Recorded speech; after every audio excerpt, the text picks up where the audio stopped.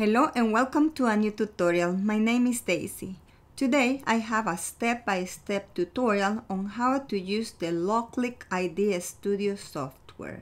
I will show you several steps to facilitate the use of your new LOKLiK machine. I will start with the most basic steps to the more advanced ones, but do not worry. Using this software is very easy. It is a user-friendly software. Let's get to it. I have these beautiful designs in this canvas, but I will start with a clean canvas. To get a new canvas, click on this folder with the plus sign and there you will have a clean canvas, always saving the previous one. So this is canvas number two and it's a blank canvas. The measurements of this canvas is in millimeters. You can leave it like that if you wish, but if you wish to work with inches, click on the top of the canvas and change it to inches. And the first thing I'm going to show you is how to work with the shapes. To draw shapes, we have these two icons. I'm going to click on the square and I'm going to draw an oval. I'm going to click on the oval, then I'm going to draw it on the canvas. We can draw an oval or a circle. And to make a perfect circle, we select it, then we click on the right side on properties and then on size we click on the center icon to unlock it then we change the measurements. That is how to create a circle and also an oval with our own measurements. Same way we can create a square or a rectangle. Now if the square is not perfect we're going to do the same step as we did with the circle. Change the measurements manually. Also here we can create lines. Also if you would like to create other shapes, click on the icon that has the star and there you will be able to draw a star, a triangle, a heart and many more. Now I'm going to show you how to resize objects select the object and you will see those little squares around. Grab them and stretch them to the outside to make it bigger or to the inside to make it smaller. Also you can rotate it using the little squares on the corners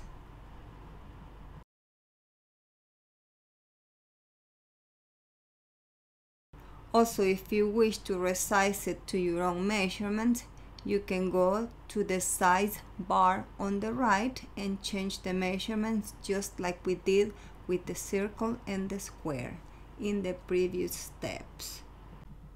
Now, if you wish to duplicate the object, select it, right click, copy, then right click and paste. Now you can resize it or rotate it using the dots around the image. Now if you wish to flip the design or the object, click on this icon to flip horizontally or vertically. This step is necessary when we are cutting iron on vinyl because the designs to be cut with iron on vinyl need to be on mirror mode. I'll show you soon. Now I'm going to show you how to align objects. I'm going to select these three items on the left. Then I'm going to click on this icon to center horizontally. Those six icons can be used to align objects. Now I'm going to select the object on the top and I'm going to align vertically. That is how we can align center horizontally or vertically. Also, we can align to the top, to the bottom, to the left, to the right, etc. To undo or redo an action, we use these two icons.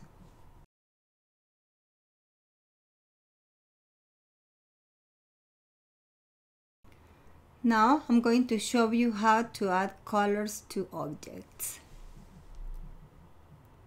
Select the object, then you will see a window on the right. On color, click on the black square and there you will have the option to pick your color. Now I'm going to show you how to unite or weld two objects. I'm going to weld these two objects. I'm going to put them together. I'm going to change the color on the star so you see it. I'm going to rotate it a little bit. Then I'm going to select both layers. I'm going to align them first.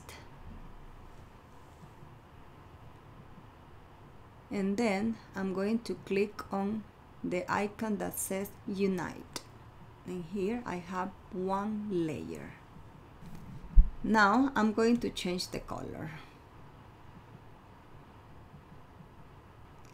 Now that I already showed you how to unite or weld several objects, I'm going to show you how to subtract. I'm going to use these two objects. I'm going to cut part of the square. For that, I need to place the circle on top of the square. We can use any of these four icons to position layers. I already placed the circle on top of the square. I'm going to select both layers and I'm going to align. Then I'm going to select both again and I'm going to click on the icon that says subtract and we already removed part of the square. Now I'm going to show you how to unite at overlap.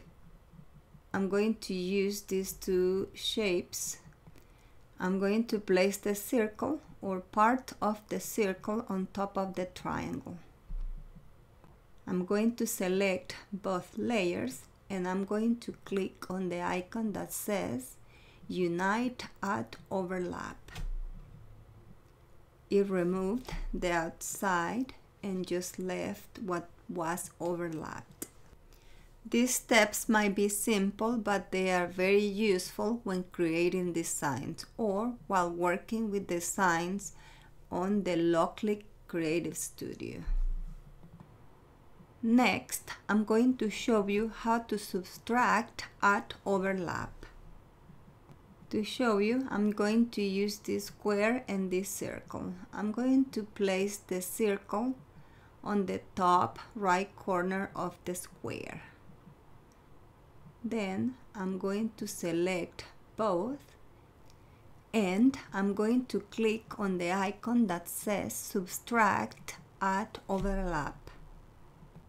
It left what was outside and removed what was overlapped. Now I'm going to show you how to separate layers. For example, in these two icons that we removed the overlapped part, it created one layer, but let's say you need to separate them, just select them and click on separate layers. Now you're going to have two layers. Now I'm going to show you how to work with text. I'm going to add text on top of this heart. I'm going to click on the T above, then click on the canvas and start typing. If you wish to change the font, select the text and you will see a window on the right side of the canvas go to text there you'll be able to change the font if you click on LOKLiK you'll see the list of fonts that are on the LOKLiK software if you click on system, you're going to be able to see the fonts that you have downloaded to your computer. I like to click on system so I can use all of the fonts that I have downloaded to my computer. I have bought a lot of fonts from Creative Fabrica. Scroll down to find your font or if you already know the name of the font, just type it. Once you have the text, you can always change the color. With all of these tools, it's very easy to create our own designs using the LOKLiK Idea Studio software. Now, if you wish to group the layers of a specific design, select all of the layers, right click and then click on group. Now I'm going to show you how to add offset. You can add offset to shapes, text or images. I'm going to select this heart and then I'm going to click on offset and I'm going to drag the dot to the right to create the desired thickness of the offset. Then click on confirm and there you have the offset.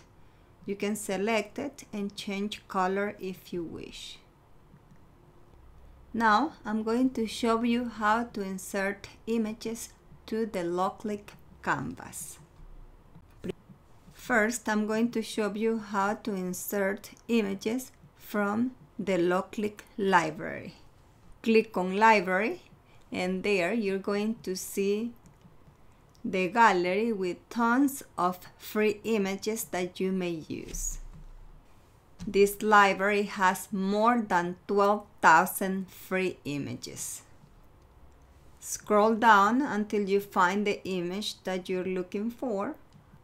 Also, you can look by type or if you know the name of the image you're looking for, just type it. I typed love and these ones are the images that show up. Once you find the image that you're looking for, select it and click on the sign. And there you will have it on the canvas. Now, if you wish to use an image that you have on your computer, click on this icon with the arrow, open the folder where you have your image, select it and open it. This is an SVG image. Now right click and ungroup. Remove the watermark. Also I'm going to remove the background and the image is ready to be cut. Now I'm going to show you how to create images using LOKLiK AI, Artificial Intelligence. Click on the AI icon. On prompt, you're going to type the description of the image you wish to create. For example, I'm going to create an image of two birds inside a heart surrounded by pink flowers. Once finished typing, click on generate. And there is my image. It's beautiful. Once ready, select it and click on import. Now here, we're going to clean the image. For example, I need to eliminate the black background. I'm going to click on the magic wand, then click on the black background and the image is already clean. When finished, click on import. We already have a beautiful design that we can use to print then cut. Now that I already showed you those steps on how to use the LOKLiK Idea Studio software, I'm going to show you how to cut permanent vinyl and iron on vinyl. I'm going to use these two designs that I have already uploaded to the LOKLiK canvas. the design on the top is going to be cut on iron-on vinyl. I'm going to select the design and I'm going to flip it on mirror mode. The designs that are going to be cut on iron-on need to be flipped or turned into mirror mode. Now I'm going to cut this design.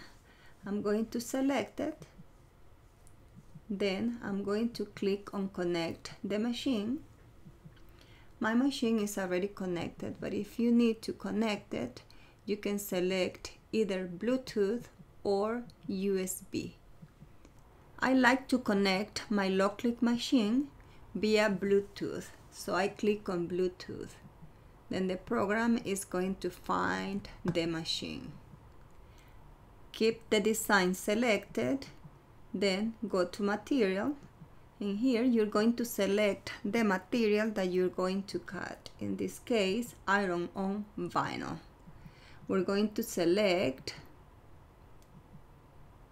basic heat transfer vinyl. Remember to mirror the images before cutting on iron on vinyl. Now this design has two layers. When cutting it will place each layer on separate mats. To make it easy to align and to save on material, I'm going to place both layers on top. I'm going to place the hearts together like this. We don't waste material. Since they are same color, I'm going to weld or unite all these layers and I'm going to place both layers on the top of the mat. Then before cutting, I'm going to select and click on cut. Click on the top layer and there you're going to see both layers and as you can see, both layers are on the top of the cutting mat. So now we're going to place the material on the cutting mat and on the LOKLiK machine and then we're going to come back and click on start. We're going to cut one by one. I'm going to cut the black layer first, then the pink. Place the iron on vinyl with the glossy part facing the mat. Click on the arrow to fit the iron on, then go back to the computer and click on start only on the layer that we are cutting, in this case the black layer.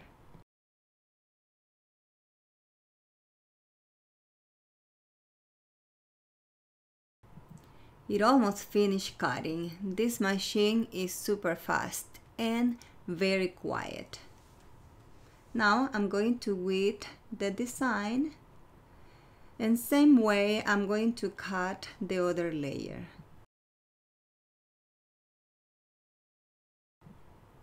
I already have the two layers ready to be pressed. I'm going to press them on a kitchen towel. But before, I'm going to cut the regular permanent vinyl. I'm going to place this design on the side. Then I'm going to place the other design on top.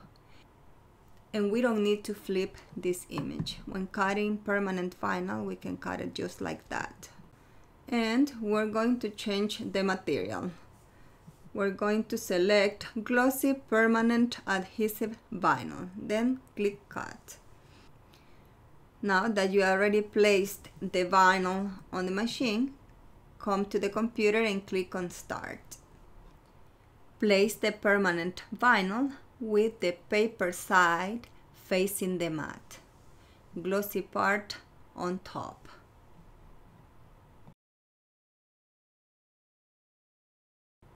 and it's ready. Now I'm going to width it and I'm going to transfer it to a skinny tumbler. To transfer this design, I'm going to use transfer tape. I'm going to link all of the supplies used in this tutorial in the video description below.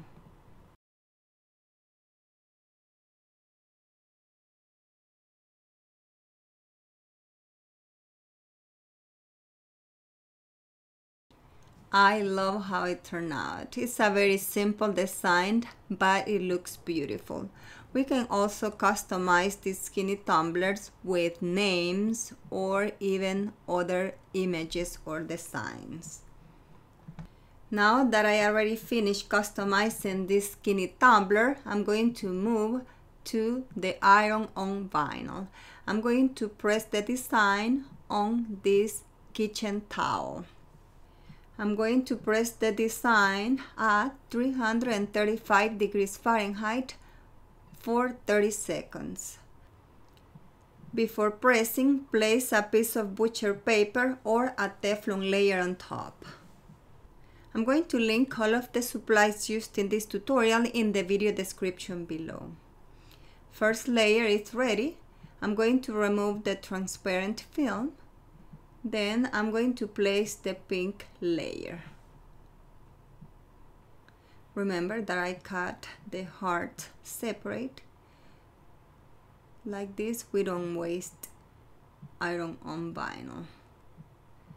Place them and we're going to place the transparent layer that I removed before. Then I'm going to place the Teflon layer on top and press at the same time and temperature. Let it cool down a little bit and remove the transparent layer. It's warm peel and it's beautiful. I love my Valentine kitchen towel that I'm going to put on my stove. I love both the kitchen towel and the skinny tumbler. I hope you have enjoyed this tutorial on how to use the LOKLiK Idea Studio software and how to customize using iron on vinyl and permanent vinyl. If you like this video, I invite you to please support my channel by subscribing, liking, commenting, and by pressing the notification bell. Thank you for your visit and I'll see you in my next tutorial.